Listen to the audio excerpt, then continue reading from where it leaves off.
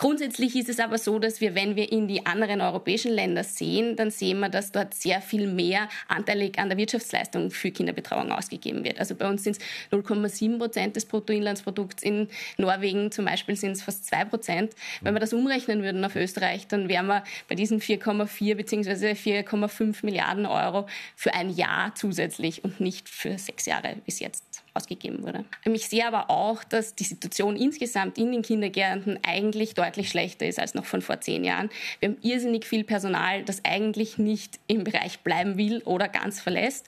Wir sehen, dass ein Drittel derjenigen, die die Schule abschließen, den Beruf überhaupt erst beginnt. Alle anderen geben sich das gar nicht.